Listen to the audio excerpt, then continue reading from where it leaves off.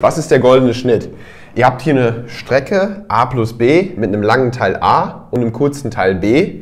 Und auf dieser Strecke gilt ähm, quasi das a durch b, also die lange Strecke durch die kurze Strecke. Dasselbe ist wie a plus b, also die gesamte Strecke, geteilt durch, also die gesamte Strecke a plus b, geteilt durch a, geteilt durch den langen Teil.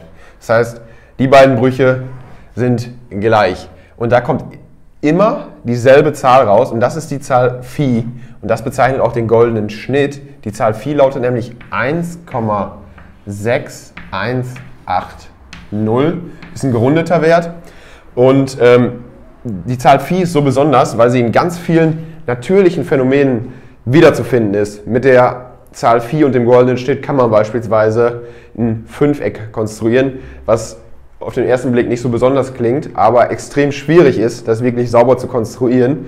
Und auch in vielen Gemälden ist, das, ist der goldene Schnitt vorhanden. Beispielsweise von Leonardo da Vinci, ein sehr bekanntes Gemälde, das letzte Abendmahl, findet man den goldenen Schnitt. Und auch in vielen sehr äh, altertümlichen Bauwerken. Viel Spaß mit dem Wissen und mit der Zahl Phi.